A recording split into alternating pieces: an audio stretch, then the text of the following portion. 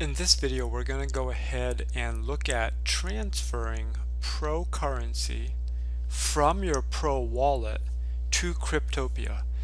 Now a good reason to do this is that you want to go ahead and move it to an exchange so you can sell the Pro currency for Bitcoin and then diversify into other cryptocurrencies if that's your pleasure or you can then sell your Bitcoin and take out uh, US dollars. So here we are in our Cryptopia account and what I'm going to do is I'm going to go up here to this Bitcoin symbol to the left of my name and we're going to look at deposit. Now we have to choose the cryptocurrency that we want to deposit and I'll just use Pro currency. Then we go next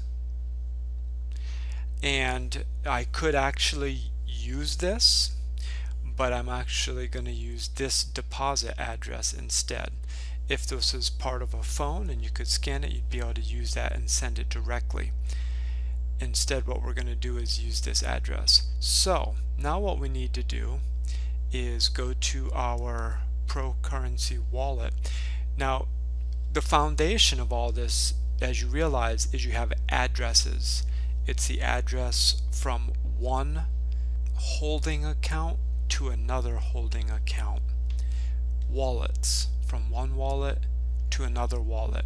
Technically, an exchange is not a wallet, but they have obviously the ability to store some of your cryptocurrency in an account with them.